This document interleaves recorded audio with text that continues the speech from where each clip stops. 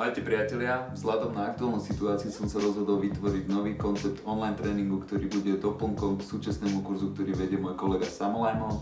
Samo sa venuje vo svojom kurze prevažne cvičeniu. V mojom kurze sa budeme viac venovať teórii parkouru a freerunningu, kde mám pre vás prichystané rôzne zaujímavé témy, ako napríklad história parkouru a freerunningu a jeho počiatky a vznik, vývoj parkouru a freerunningu, osobnosť parkouristu, bezpečnosť, sila a prekonávanie strachu, parkour a sociálne siete a parkour ako povolanie. Všetky tieto okruhy budú obsahovať rôzne podkategórie, ktorým sa budeme na kurze venovať.